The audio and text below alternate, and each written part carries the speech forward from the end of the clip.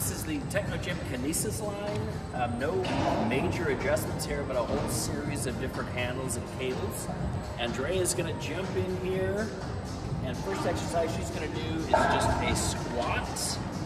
So you've got lower handles there to pull up and down. Great work for the legs.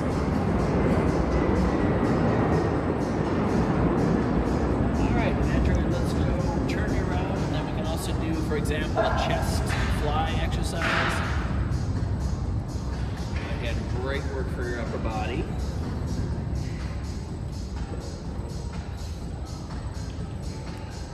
And you can even incorporate things like some ab work. So if you want to grab one hand and step out and then just do a trunk rotation here, great work for your abdominal area. Truly a machine that you are only limited by your imagination.